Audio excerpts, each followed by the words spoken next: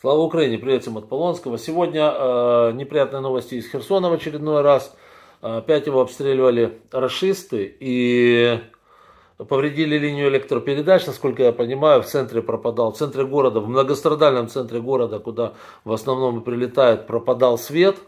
Сейчас его вроде бы постепенно восстанавливают, но по Херсону надо понимать одну такую вещь. Смотрите, к большому сожалению, город находится в зоне действия российской дальнобойной артиллерии, либо же градов.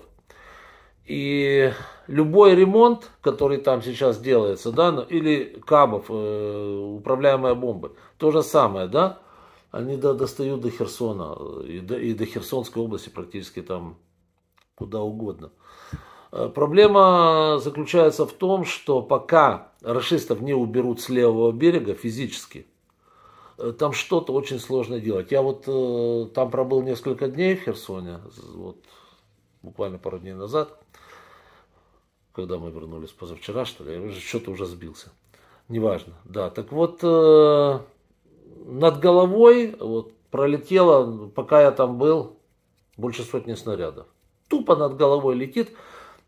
То они стреляли по Чернобаевке. Причем непонятно зачем, вот что в Чернобаевке такое есть – что они туда пуляют. Там э, аэродром, он неиспользуемый, да, складов каких-то нет. Ни черта там нет. Прилеты идут по людям тупо, либо по огородам куда-то. То есть это, знаете, такая стрельба, чтобы нагадить. Э, сегодняшняя стрельба по, скажите мне, по линии электропередач э, под Херсоном. То же самое, чтобы нагадить. Зачем стрелять из града из града, который вообще не точный, который бьет по площадям.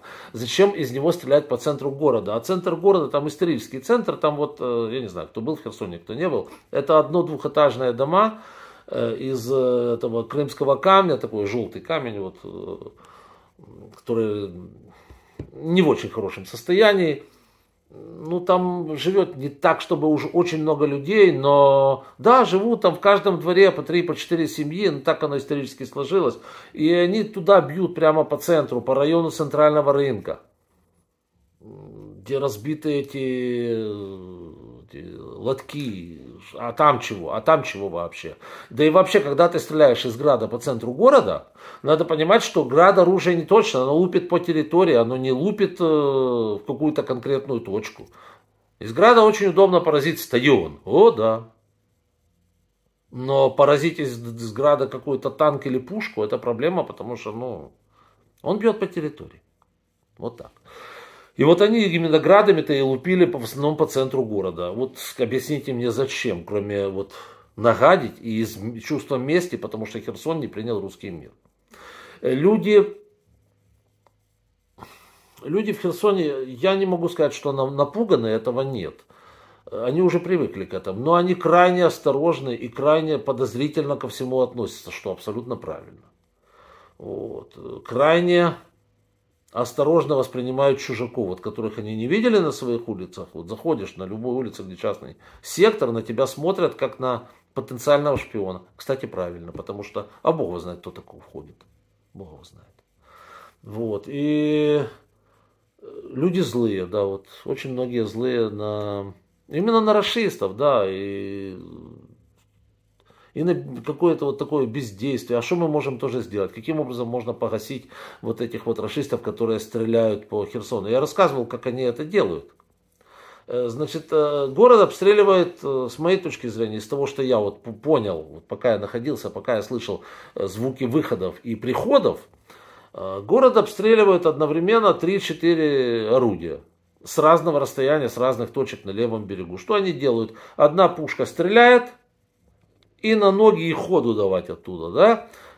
Сразу буквально, если вы думаете, что между выстрелами там проходит час, какой там фиг час. Между выстрелами проходит 3 минуты, 4, 5 минут, иногда 8. Вторая пушка стреляет из другой совершенно точки. А это же уже убежала, первая. Она тоже куда-то полетела, прилетела. Слышно хорошо, выход, приход, да, это все отлично слышно. Прилетела, гух. Это тоже на ноги становится, на грузовик и текает. А может самоходка переезжает с места на место, соответственно.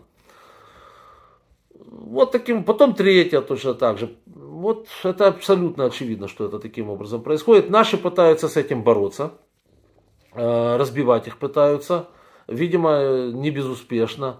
Но у расистов всегда находится там 2-3 орудия, которые можно поставить, которые будут пулять по городу, просто чтобы, люди, чтобы не давать людям жить. О том, что они поразят какие-то военные объекты, даже речь не идет. Они, они пуляют. Вот честно, у меня вот такое вот впечатление, они тупо лупят куда попало. Зачем они, э, вот когда два дня назад попали по э, универу, по пустому, там ничего нет, там пусто. Попали в большой это лекционный зал. Ну, они заранее знали, что там никого нет. Там нет студентов, там вообще никого, там пустое здание стоит с забитыми фанерой окнами, да? Они луснули по большому залу. Зачем? Это просто месть, это нагадить. Да? Вот это, что такое русский мир и как он проявил себя в отдельно взятом Херсоне. То есть они пытаются создать какие-то там невыносимые условия жизни, видимо, для людей или как-то, знаете, действовать на нервы. Попытаться э, воздействовать на людей таким образом, чтобы они начали обвинять власть, а вот вы ничего не делаете, чтобы это все дело прекратить, бла-бла-бла, ко-ко-ко. Вот это все. Надо сказать, что люди на это не ведутся. Вот, ну, пролетело над головой, знаете, матюкнулись, там, прокляли Путина и пошли дальше по своим делам. Вот. Но, конечно, мешает это жить. Вот сегодня люди сидели полдня, по крайней мере, центр города, насколько я понял, сидели без света. Сейчас вроде починили это дело. Вот. Но если вы думаете, что сегодня вечером не будет обстрела с левого берега, опять обстрела, еще раз повторюсь, куда попало, то вы крупно ошибаетесь. Вот вот такой он русский мир. Поэтому их надо с левого берега, конечно, аннулировать.